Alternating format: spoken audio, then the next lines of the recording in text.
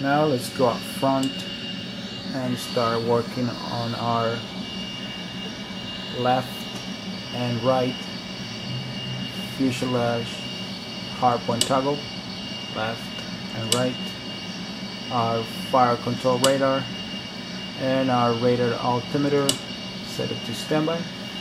Take a couple minutes to warm up so we'll come back to it before we start taxiing now that you're here set your flight path marker from off to FPM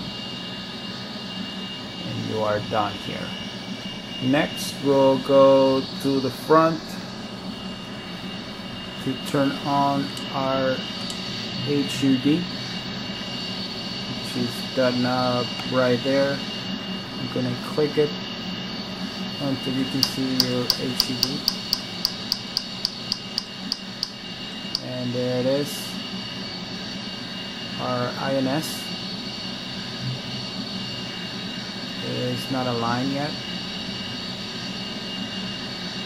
And now you can see most of the instruments are on and running. Now that we're here we go back to our instruments and make sure that all the flags are gone. AOA VVI HSI and ADI are completely clear there's no flags. Now let's check our MFDs that's the left one. There's some standby so let's get it activated. There it is. And we go to our right MFD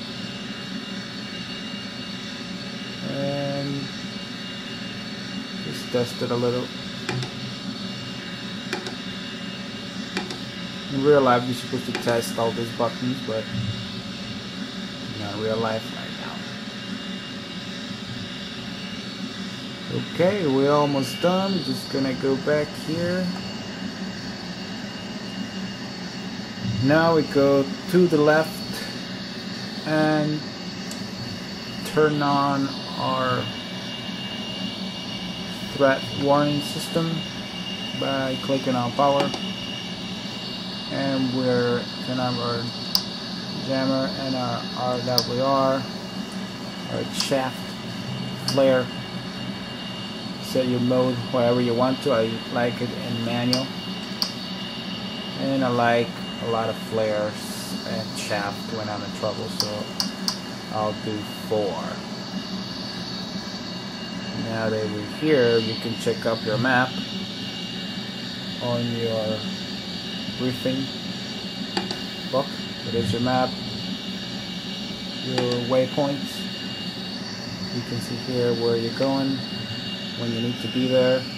This is just a takeoff mission so there's no need to uh, know what time you need to get there but it's very important that you get to your steer point on time and of course your briefing. It tells you what kind of mission you are on. And all that good stuff. Now we keep going to the left. And we're going to our communications. Or audio panel.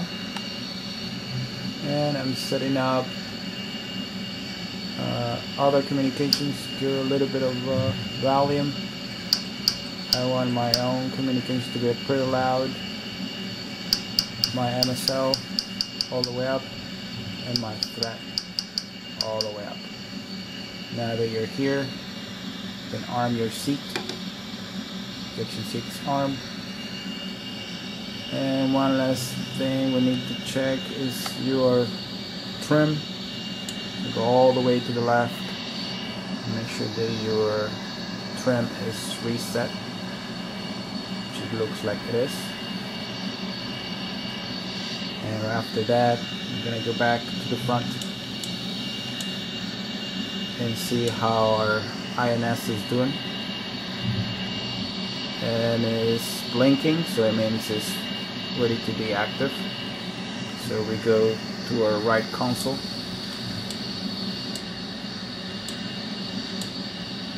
And enable it by clicking it once to nav. Now you can go to the front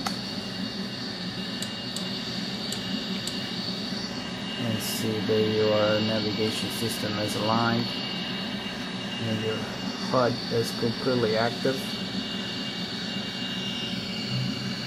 You can manually set your steer point by clicking on your steer point selector which is steer point 2 and just set it up to standard. Now we're going to steer point 3 and one more time down to steer point 2. There should be 2 there. Now our navigation system will take us to our steer point 2. Right there. That's it folks. Now if you're going to test what you just did, you turn on your master switch and go here. And go back to your main function it says let's read it. No faults. All systems okay. We go back here and all the way to the left have our warning it should give you all the warnings on board visual and audible Pull up, altitude, warning, jammer. Counter, chaff, flare, low, out, log. Caution, bingo, data, IFF Pull up, altitude, warning, jammer. Counter, chaff, flare, low, out, log. Caution, bingo, data, IFF. Pull up, altitude, warning, jammer. Counter, chaff, flare, low. and that's it. All the tests are done. Go back to the front. Disengage your parking brake. Turn the lights on. Go back to your radar altimeter and set it on